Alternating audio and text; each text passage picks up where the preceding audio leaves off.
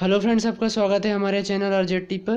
दोस्तों, railway ALP परीक्षा का रिज़ल्ट अब जल्द ही डिक्लेयर किया जाएगा और ऐसा बताया जा रहा है ऑफिशियली कि जल्द ही आपका जो रेलवे का रिज़ल्ट है सी बी टी टू का, वो अब ऑफिशियल साइट पर जल्द ही आने की संभावना है।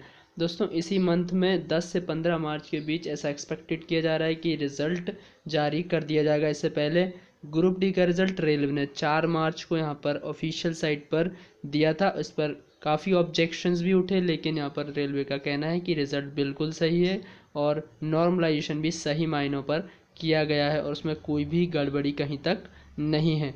दोस्तों रेलवे एल परीक्षा आपको बता दें कि 21 जनवरी से लेकर 23 जनवरी और उसके बाद 8 आठ फरवरी को कर दी गई थी। एक एक और एक एक शिफ्ट का आठ फरवरी को भी दिया गया था क्योंकि कुछ यहाँ पर टेक्निकल प्रॉब्लम फेस करी गई थी। तो दोस्तों, आप बने रहें वेबसाइट पर चेक करते रहें, जल्दी एल का जो रिज़ल्ट है, वो जल्दी यहाँ पर बताया जाएगा। दोस्तों, मैं आपको न्यूज़ बता देता हूँ इससे पहले। दोस्तों, मैं आपको बता दूँ कि रेलवे एल पी परीक्षा में भी वैसे ही नॉर्मलाइजेशन होने वाला जैसा कि ग्रुप डी में हुआ है। तो आप देख आप उससे कोई दिक्कत नहीं आ रहा आपकी शिफ्ट कठिन है तो आपको मार्क्स का अच्छा खासा आपको यहाँ पर बढ़ जाएगा।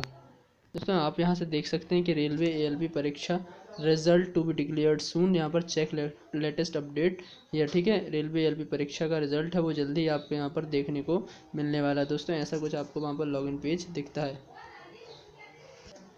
दोस्तों, यहाँ देख सकते हैं R R B L P technician C B two result two thousand nineteen to be declared soon on the official updates status railway recruitment board will announce result of A L B C B T two technician two thousand eighteen soon all those who paid for the exam will be able to check result it at as it uploaded on the official website तो आप देख check करते रहें।